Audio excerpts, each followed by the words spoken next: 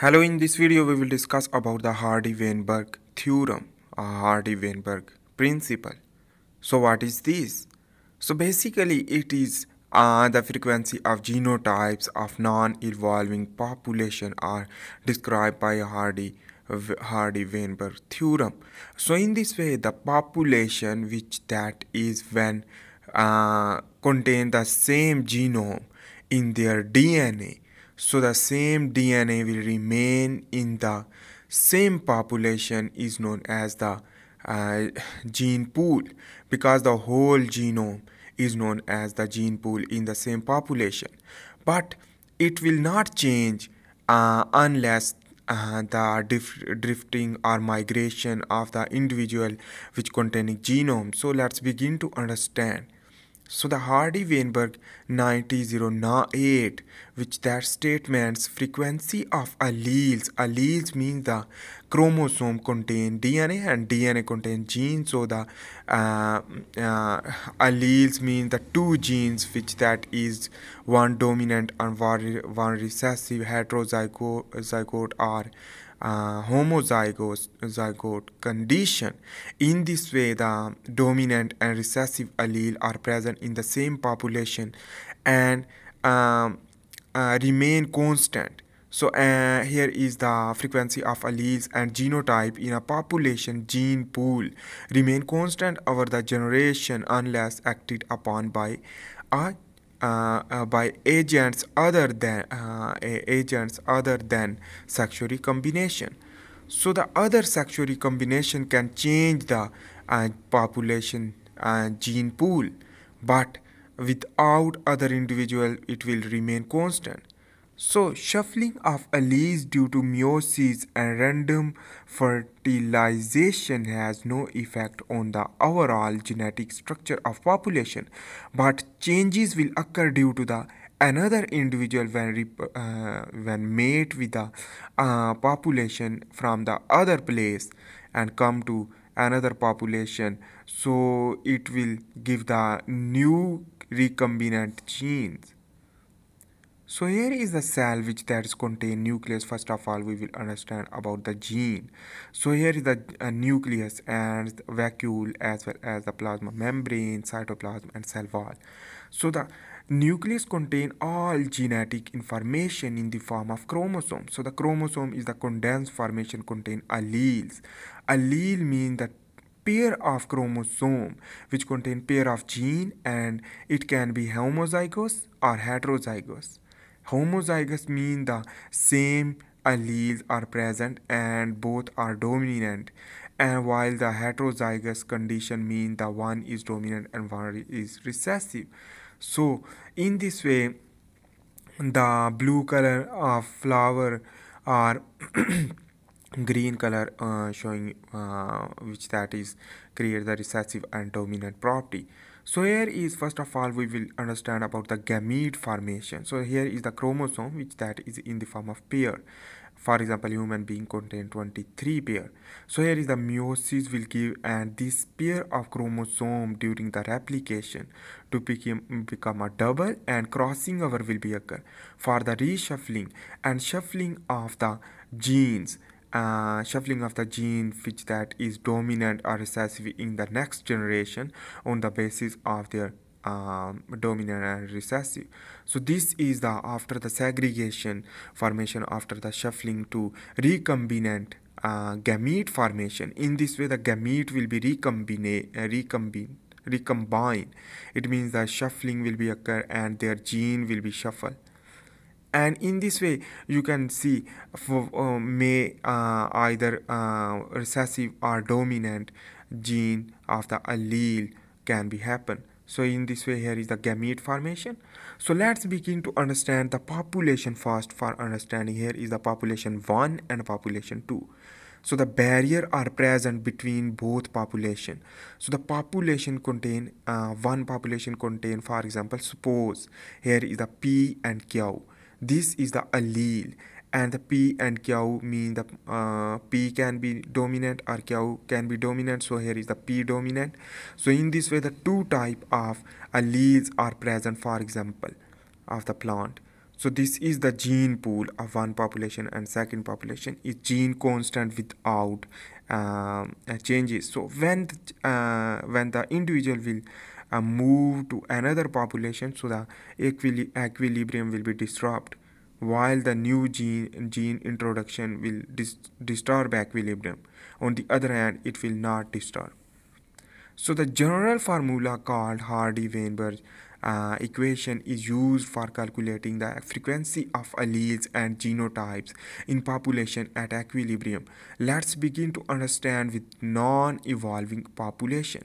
In, it means the non-evolution um, evolution will not occur if the gene will remain constant, but it will be disturbed to factor affecting the disturbing uh, of the gene of the gene pool will uh, give the recombination of the individual. So for example here is the AA is the dominant homozygote condition which that is I am donating that is 0.64 and the heterozygote zygous condition mean the A capital and small is heterozygous 0.32 and the uh, smaller a is the homozygous recessive allele are present so in this way here you can see this is the crossing over will be occur to form a a and smaller a.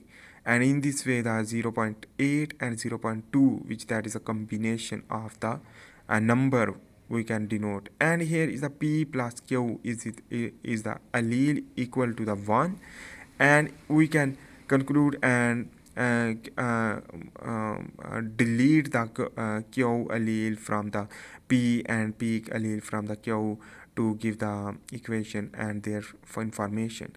While here the formula is the p square is equal to plus 2 pq plus q2 which that give the uh, total number is 1 so it is equal to 1 so let's begin to understand this is the uh, crossing over of the sperm is contain Q and P which that is the gamete and ova is also contain gamete P and Q.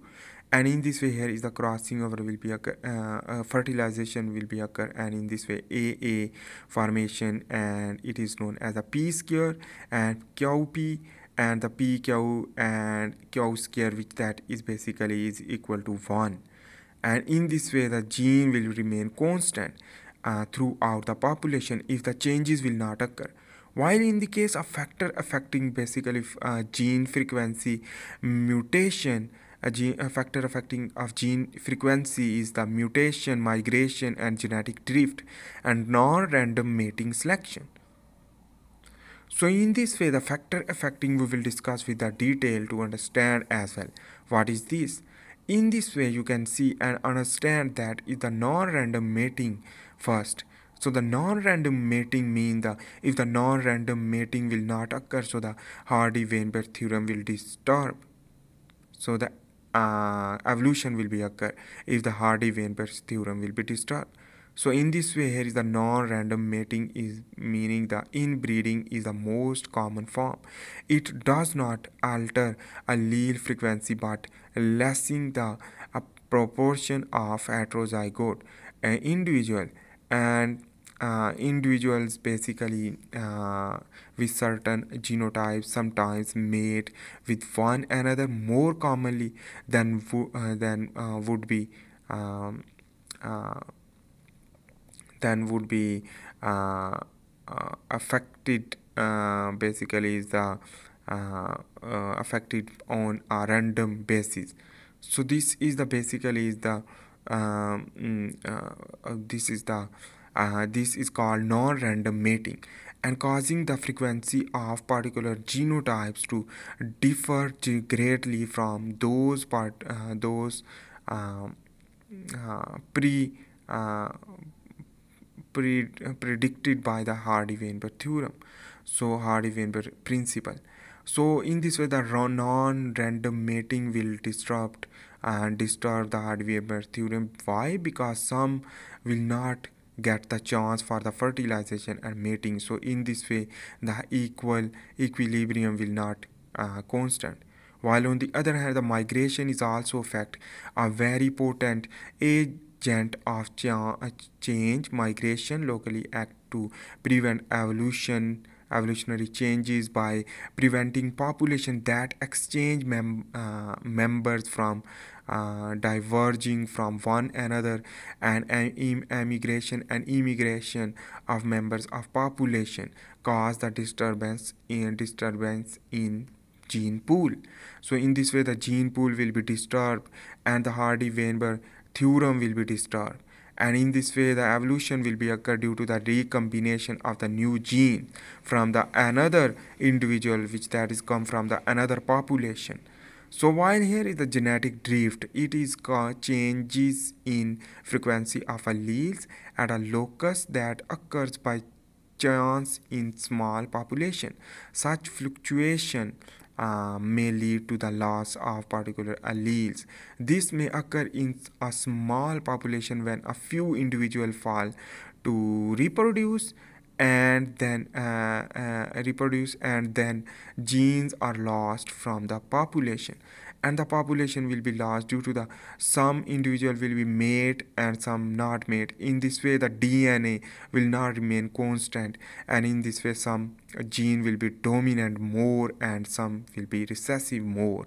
So in this way the mutation uh, in this way the hardy-weinberg theorem will be disturbed because the crossing over will not constant and the shuffling will not constant and equilibrium will not constant because the some allele will be more dominant. So the mutation is the next step is the ultimate source of all changes individual mutation occur. So rarely that mutation allow uh, uh, sorry mutation alone does not changes allele frequency much so in this way the mutation can cause the uh, equilibrium disturb of the Hardy-Weinberg theorem. So remember about that. Selection uh, is the last is the some individual leave behi- uh, behind more progeny than others and the rate at which they do so is affected by their inherited characteristics this called selection so the sum selected is known as the evolutionary process will give the advanced uh, animal. So that is why the hardy-weinberg theorem will inhibit the evolution while the non-random mating migration will uh, disturb the hardy-weinberg theorem. So thank